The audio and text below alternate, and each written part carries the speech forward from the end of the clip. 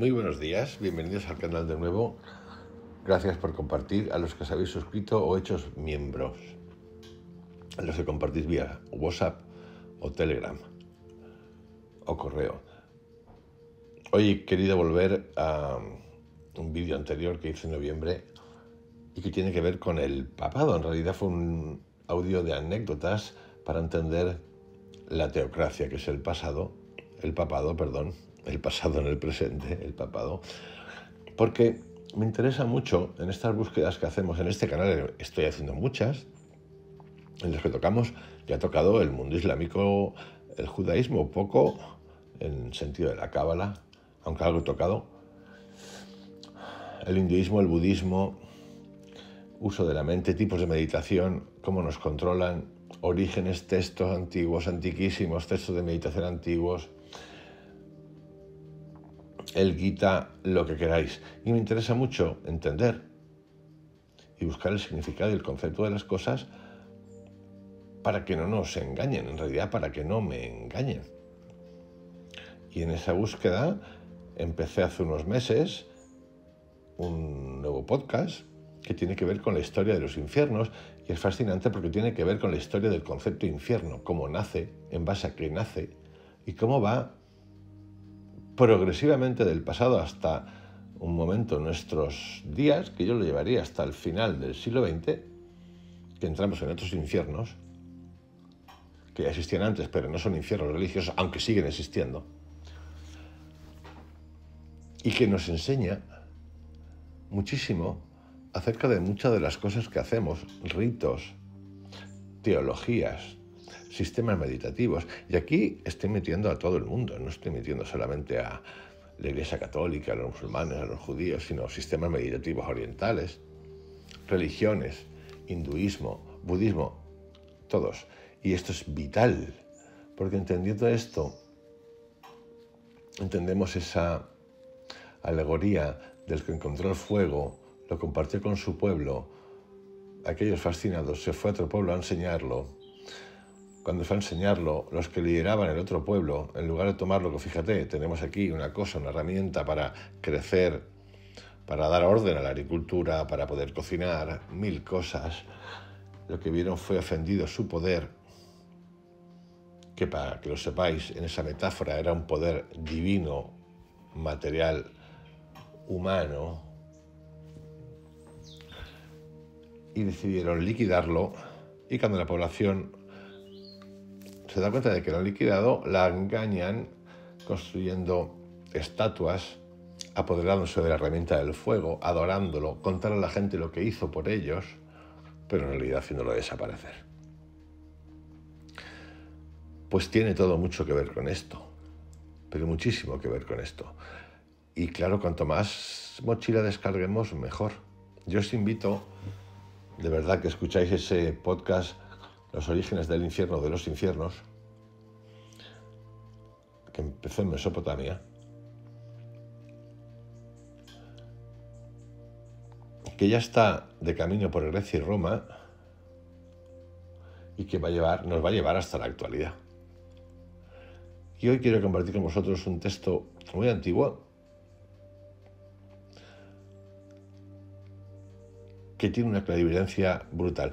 Es más, todo ha empezado porque en un momento dado, durante el día, durante la semana, está mirando acerca de Pedro, dónde está Pedro, quién era Pedro, que si Pedro fue a Roma, que si Pedro estuvo en Roma, que si Pedro fue el primer papa, que si Pedro, Pedro, Pedro, pero Pedro, pero Pedro, Pedro, Pedro, como buscando a Pedro, como buscando a Wally.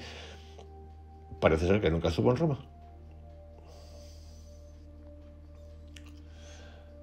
Entonces eso me ha llevado a buscar un poquitito más acerca de cuáles eran los orígenes, fueron los orígenes del cristianismo y a esa pregunta que todo el mundo se hace, que la gente le gusta decir, es que fue un milagro de por qué una concepción que venía de, Jesucristo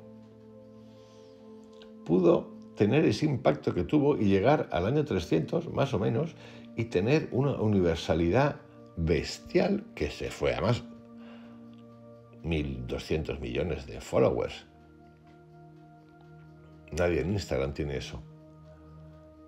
Y claro, encontrando este libro encontré la respuesta y también he encontrado lo viciado de algunas respuestas y también he encontrado el origen, que todo el mundo lo sabemos más o menos.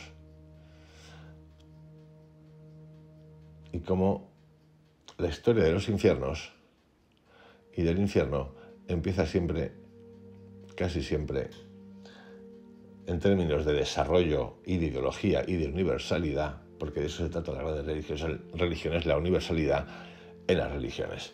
Dicho esto, como introducción, comenzamos.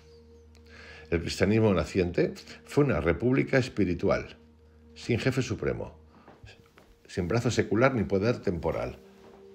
Tal fue quizás, de todos sus principios constitutivos, el que más poderosamente contribuyó a esa rápida fortuna que por tanto tiempo se ha creído que no podía explicarse si no fuera por un milagro.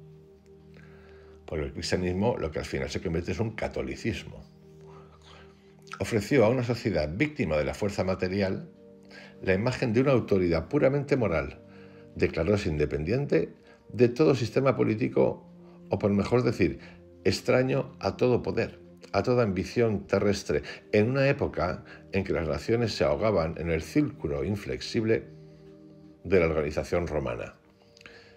Y por solo este contraste tenía de antemano su causa. Esto es importante porque lo que ofreció el cristianismo fue libertad, fue rebelarse contra un sistema que era romano. Interpretado de este modo, su éxito puede prescindir de la hipótesis de los milagros, confirma las grandes leyes de la historia en vez de contradecirlas y honra mil veces más a la naturaleza humana que esos golpes de Estado que la credulidad presta a la providencia, sin advertir que ofende a su sabiduría queriendo glorificar su poder. No debemos reparar en destruir la leyenda, cuando la leyenda rebaja la humanidad. Cuando con el cristianismo primitivo apareció el dogma de la libertad espiritual, Roma no solamente había despojado a los pueblos de cuanto constituían sus, sus, tradiciones y nacionalidad, sino que las había arrebatado hasta sus dioses, llevados cautivos a sus templos, dándoles en cambio sus césares que adorar. Sabido es que, por una singular y significativa analogía, los romanos deducían de su religión el principio de conquista contenido en su política y confiscaban a la vez los dioses de los otros y los reinos. Cuando el mundo hubo sido conquistado y los dioses vencidos, Roma se hizo divinizar a sí misma en la persona de sus amos, y el culto grosero de los emperadores sucedió a aquella era de decadencia, en que el politeísmo envejecido había renegado de su propio simbolismo por la llana y trivial interpretación de Ebemero. No siendo ya los dioses, para los sabios más reyes divinizados después de su muerte, bien podía un emperador romano ser divinizado en vida. Es decir, esto yo lo comparto, yo he leído la historia de Roma de Gibbon y algunos otros más antiguos y me encanta y me, me encanta por el sistema político, por la historia, por lo que fue, por lo que supuso. Y es cierto que cuando invadía, no solo invadía, sino que invadía y se apropiaba de los dioses. En ese afán brutal en ese poder que obtuvo, pues era normal que si vas apropiándote de dioses, al final te apropias de todo y te creas como lo más de lo más y digas, y bueno, ¿y por qué no, ya que somos tan potentes durante tantos siglos, no divinizarme yo, que era lo que hacían los Césares, lo que hicieron los Césares, muchos de ellos. En vano, para interesarlos en su conversación y engañar hasta la conspiración de sus recuerdos, se extendió gradualmente el derecho de ciudad casi tan lejos como la misma conquista porque no podían reconocer su patria en la formidable centralización que les había traído para devorarlos, ni sus dioses en los vanos simulacros encadenados al panteón. El resultado de estas medidas fue debilitar la única personalidad enérgica que aún quedaba al imperio, la de la misma Roma, por manera que tan solo una organización meramente mecánica y obligada por su extensión indefinida a concentrarse más y más sobrevivía al alma ausente por esta ley de su desarrollo, aquel poder monstruoso llegó a confiscar hasta el cielo mismo, último refugio de los vencidos. Así se explica la universal atracción que ejerció la doctrina del cristianismo, que devolvía a los oprimidos una patria y un Dios colocados por encima, perdón, de los ataques de la brutalidad y que por boca de San Pablo proclamaba de igual entre vencedores y vencidos, señores y esclavos, hombres y mujeres, judíos y gentiles. La pureza de los otros preceptos de la fe cristiana no pudo por menos que brillar con luz incomparable en medio de aquella corrupción en que había caído la sociedad antigua. Pero ninguno ejerció influencia tan decisiva como esta reivindicación inesperada de los derechos de la personalidad desconocida. El cristianismo fue ante todo un grito de libertad, una fórmula de emancipación, un inmenso esfuerzo del espíritu humano para escapar al reinado de la fuerza y tuvo por cómplices a todos los pueblos oprimidos. Es decir, era muy fácil toda la opresión en la que se vivía, que uno se identificase con ello, porque parecía más que una secta, es decir, un grupo creado que ni siquiera tenía un afán de poder. El único poder lo que quería era liberar a la gente, es decir, es momento de rebelarse contra esto.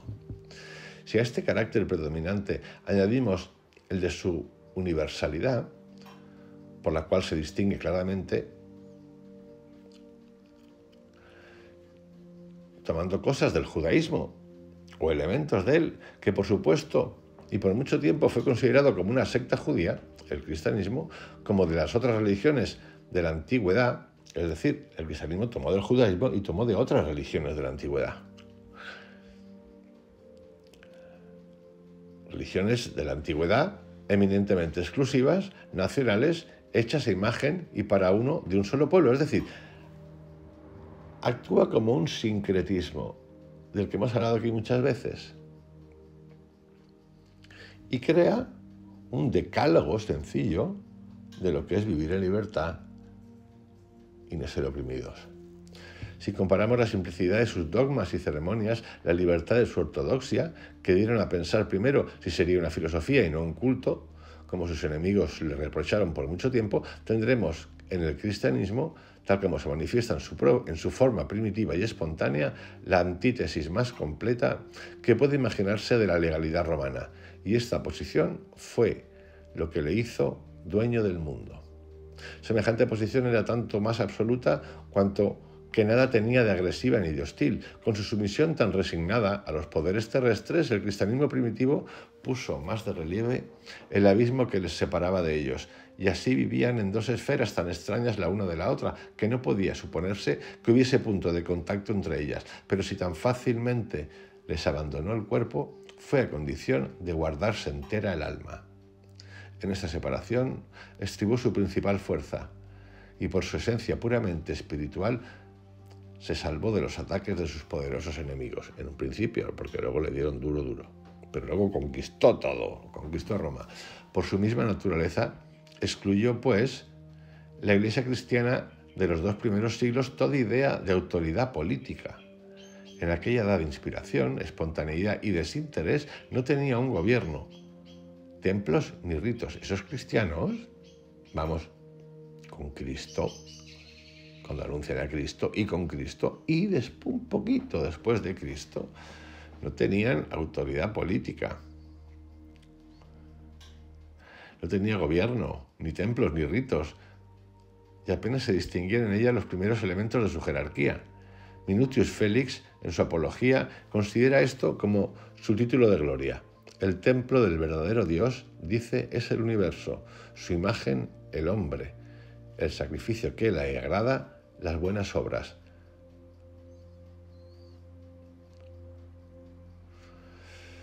Faltábale también a la Iglesia la noción de una autoridad espiritual personificada en un solo hombre, esto es, el papado del cual no hallamos la menor huella en los primeros apologistas,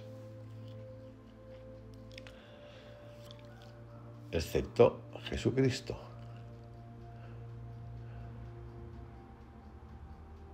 En los que siguieron a Jesús, la secuencia que va a derivar en estructuras de poder, empiezan a iniciar, aparece el concepto de papado. Se encuentra así el nombre de papa, pero aplicado indistintamente a todos los obispos. Después de la muerte de los apóstoles, la autoridad espiritual perteneció a los obispos elegidos por la Asamblea de los Fieles. a los sacerdotes, a los diáconos, a los intérpretes de las escrituras, que habían podido conocer a los primeros pastores y conservar sus tradiciones. Y los vínculos entre las varias iglesias se mantenían por disposiciones votadas y redactadas en común en formas de cartas que tratan más veces de cuestiones de moral. Más tarde, cuando el poder episcopal comienza a desprenderse de las formas democráticas de los primeros días, estas relaciones se multiplican y se regularizan. Los asuntos que interesan a toda la Iglesia se tratan en asambleas de obispos, que preside por lo común el que ha provocado la reunión. Lejos de atribuirse los obispos de Roma preeminencia sobre sus colegas, ni lo pretenden siquiera, y la mejor prueba de que no poseen en esta organización primera las prerrogativas que más tarde tuvieron es que todas estas prerrogativas las ejercen los concilios, que administran, regulan y gobiernan hasta las menores competencias. La intervención de los papas pasó tan desapercibida en la cristiandad naciente que no se sabe si Cleto y Anacleto fueron una persona o dos, ni si reinó o reinaron antes o después de San Clemente. En cuanto a este, lejos de arrogarse en las actas que nos quedan de él autoridad sobre las otras iglesias, nunca habla en su nombre, limitándose a expresar los votos y sentimientos de sus diocesanos. ¿Cuánto distan estos principios tan humildes y tan grandes de aquella república cristiana, en que el más incluyente era el más, el más influyente era el más santo, y en que la unidad resultaba no de la coacción, sino del consentimiento de los corazones, del espectáculo que ofrecen algunos siglos más tarde. Quizá la reconocería en esa monarquía absoluta, en que el clérigo forma una clase privilegiada separada de los fieles, en que la elección se reduce a un nombramiento hecho por el superior en favor de un poder único e irresponsable, en que el obispo de Roma, heredero de la autoridad de los concilios, aspirando a la de los césares, soberano árbitro de las naciones, pretende a la vez gobernar las conciencias y distribuir los reinos, reinar sobre el alma y sobre el cuerpo, del mismo modo que aquel imperio romano contra el cual había venido el cristianismo a protestar. Sin duda, el camino recorrido entre estos extremos no es otro que el círculo en, el que se mueven de ordinario las instituciones políticas, pero parece que las sociedades religiosas que pretenden poseer un ideal absoluto deberían escapar a esta inestabilidad. De esta suerte vemos cómo el papado que críticas poco ilustradas han presentado como institución nacida con el cristianismo y formada de pies a cabezas, fue por el contrario una creación lenta y sucesiva. También vemos qué especie de evolución representa la idea cristiana. Desarrollóse, se desarrolló en su seno, casi de la misma manera que el germen del poder absoluto nace y crece en el seno de las democracias. Primero apareció la autoridad espiritual, luego la disciplina, la gestión de los intereses comunes, el gobierno, a continuación, las pretensiones temporales. Por último, el sueño de la monarquía universal. Esto no es de Krishnamurti, parece Krishnamurti, y aquí uno puede entender por qué Krishnamurti dice las cosas que dice. Y para que entendáis esta comparativa que estoy haciendo de los inicios del cristianismo, y lo entendéis y lo, llevo a la, y llevarlo a la materialidad de ahora, esto es lo mismo que es, por ejemplo, hoy en día Google, que nace, cuando nace Internet, con un concepto libertario, de libertad individual, y acaba convirtiéndose en la monarquía universal de los metadatas y del control absoluto. Y digo control absoluto del cielo porque es el control absoluto ahora de la inteligencia artificial. Asimismo, esto se repite constantemente. Es importante conocer estas cosas para cuando nos preguntemos ¿Por qué miramos al exterior? Esas dudas que tenemos. ¿Por qué nos apoyamos? ¿A quién seguimos? Que entendamos lo que es el poder, que aquí se dice, y ha dicho y ha dicho muchas veces que no es amor, nunca ha sido amor, por muchos fines benéficos que tengan, o que nos cuenten que tengan, porque hay de todo, para echar a correr. Y lo que es verdaderamente el entender el ser humano trascendiendo el concepto de materia, que es a lo que ha venido aquí, porque en principio aquí hemos venido como a competir, a matarnos, a tener miedo, a sufrir, a crear familia, pero cada uno mira listo y dice, hostia, pero de verdad vale la pena que yo me implique aquí, me tire aquí de cabeza. a tener hijos, a tener hijas, eh, hijos. Eh, de verdad, uno lo puede pensar perfectamente, tiene todo el derecho. Porque además le pasan cosas en el camino que le hacen preguntarse. Y aquí estamos para eso, para preguntarnos en este canal. Los concilios fueron los primeros en aprovecharse de esta tendencia. La tendencia, repito, era, primero apareció la autoridad espiritual, luego la disciplina, la gestación de los intereses comunes, el gobierno, a continuación las pretensiones temporales y por último el sueño de la monarquía universal. Los concilios fueron los primeros en aprovecharse de esta tendencia y la favorecieron creando divisiones. Pero en estos siglos de entusiasmo y de sinceridad, los fieles habrían rechazado como una impiedad el medio que se eligió más tarde para cortar las dificultades en vez de resolverlas. Atribuir la infalibilidad a los concilios les hubiese parecido un acto de idolatría a los primeros cristianos y con más razón habrían retrocedido ante la idea de poner semejante arma en manos de un solo hombre. Tampoco vemos mencionada la autoridad pontificial en las apologías de Justino, de Minutius Félix, de San Irineo, de Clemente de Alejandría, obras, obras en que se tratan con gran copia de detalles todas las cuestiones que interesan a la Iglesia. La palabra Iglesia romana,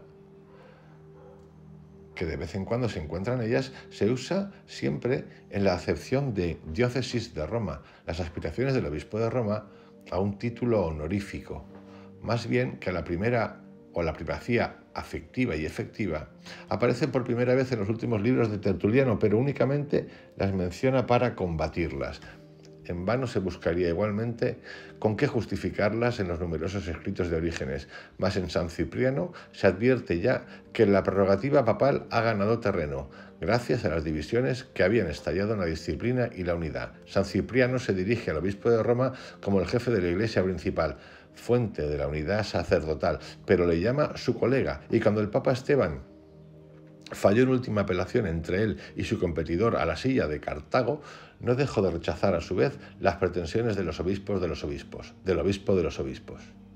Estoy indignado, le escribía con este motivo San Firmiliano, de la arrogancia del obispo de Roma, que pretende haber heredado su obispado del apóstol Pedro.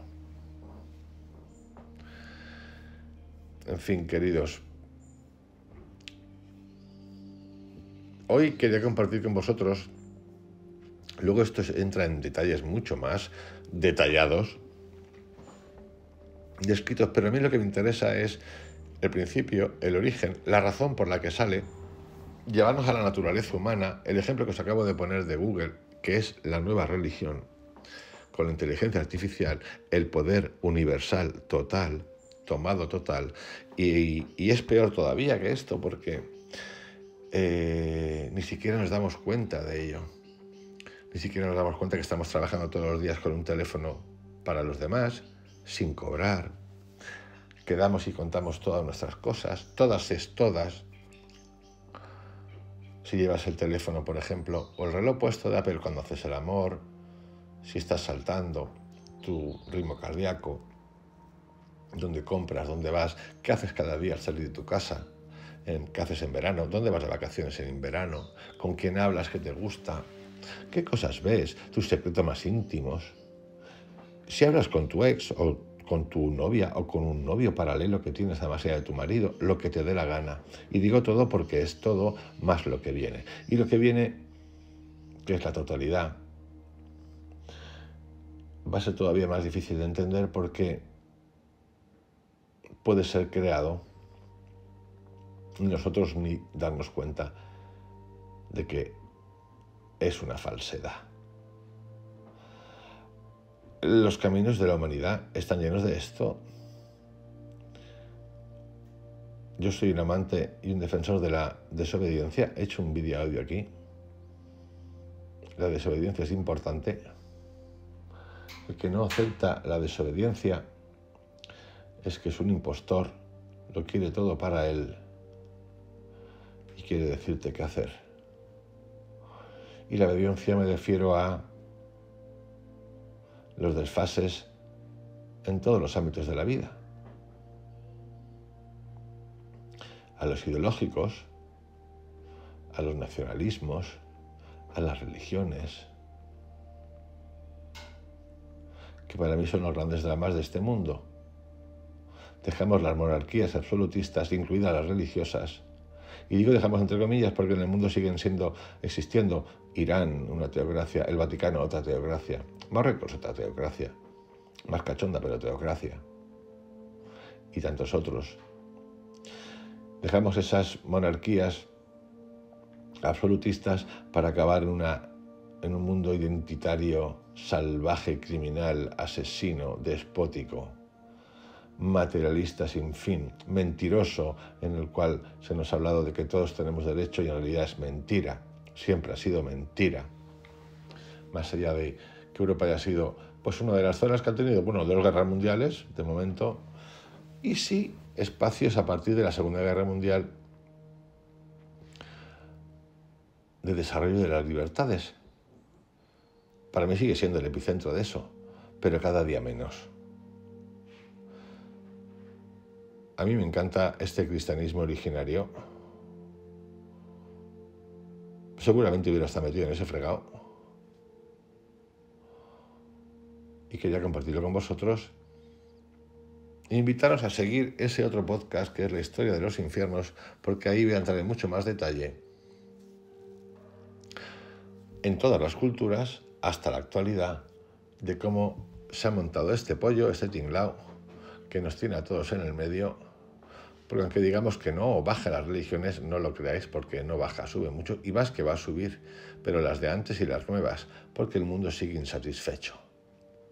Solo que a diferencia de antes, tenemos redes sociales, los Google, los Facebook, los estados, captando, incluso preveyendo lo que podemos hacer en el futuro. Os envío un abrazo, que tengáis un excelente día. Hasta mañana.